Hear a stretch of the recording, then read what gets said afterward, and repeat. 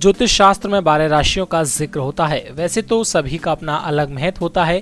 इन राशि में से कोई राशि तो काफ़ी ज़्यादा तेज होती है तो वहीं कुछ राशि कमज़ोर होती हैं। इसी से हमारे सीधापन और ताकत का एहसास होता है। बता दें, इस दुनिया में हमें तरह तरह के चमत्कार देखने को मिल जाते हैं। इसी के चलते हम काफ़ी कुछ सीखते हैं। जब भी दुख दर्द हमारे जीवन में आए तो उनसे हमें घबराने की ज़रूरत नहीं है, बल्कि इनका हमें सामना करने की बहुत ज़्यादा ज़रूरत है। हमेशा खुशी के साथ अपना जीवन हर कोई मनुष्य जीने की कोशिश करता है।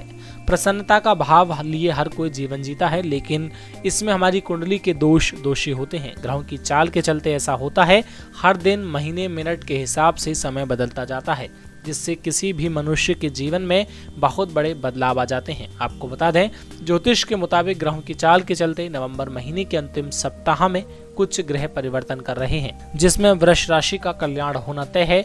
उनके जीवन में बहुत सी खुशियाँ आने वाली हैं। आपको बता दें वृक्ष राशि के लोग अपने जीवन में काफ़ी कुछ अलग करने की कोशिश करेंगे।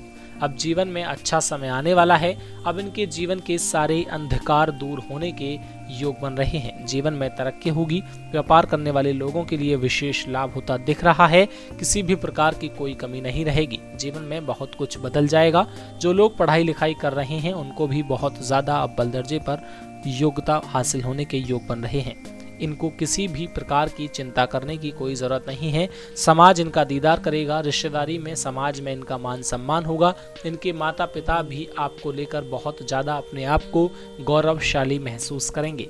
साथ ही वो आपके नाम के साथ अपना जीवन बहुत ही, एक रोशन करने के साथ अपना जीवन जिएँगे। बहुत कुछ बदलता हुआ नज़र आ रहा है। नेक्स्ट नाइन, भक्ति सागर से आकाश की रिपोर्ट।